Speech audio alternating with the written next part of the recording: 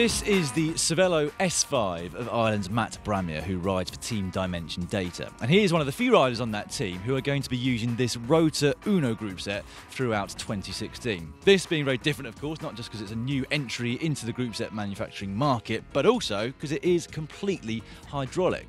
Now we've got the Magura brakes here, Magura, of course, being very, very specialised in all things hydraulic, and everything else is supplied by Rotor. So the rear mech here, the front mech, and up there at the STI levers for changing. Now, I've just been talking to the mechanic about how you go about indexing the rear and front mech.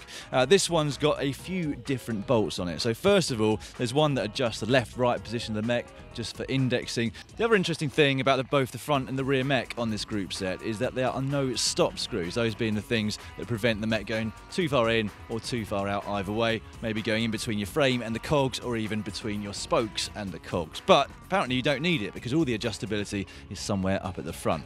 One day we'll get our hands on some to find out. The brake adjustment is done via these barrel adjusters just up here and if you want to release the brakes to take the wheel out you just turn this part right here. Now, and the other finishing kit on the bike, at the front there, he's got an ENVE 13 centimetre stem, and the bars are measuring 43 centimetres roughly edge to edge. So pretty narrow. Uh, centre to centre It was just under 40 centimetres. The crank length is 175 millimetres. They are the rotor in power crankset, so that's an axle based power meter, and the fairly standard 53 by 39 tooth chain rings.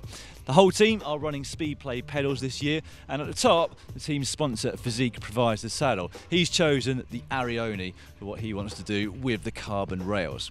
Now, I've done some measurements on the bike, and he's got a reach of around 60 centimetres, pretty high saddle height, I have to say, of 82 centimetres. And the tyres are 25 millimetres written on the sidewall at least, Continental Competition tubulars.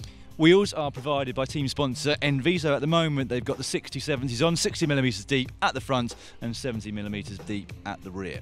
Now, what does the bike like this way? I hear you ask. Here's your answer 7.44 kilograms. So, not particularly light, not particularly heavy either.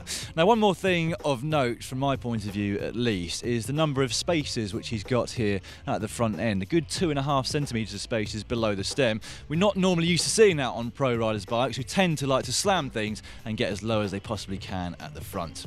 Now, if you would like a complete playlist of pro bikes, we've got one for you, which you can find just up there. On the other hand, if you would like to look at our video where we looked into the different types of wheels they had to use at Dimension Data back in 2015, you can find that down there. And the subscribe button is just about in the middle there. It's free and it's really worth it. Oh, and I'm going to ask you for a thumbs up as well. There's a little button just down below. If you like this video, give us a thumbs up. Go on. You know you want to.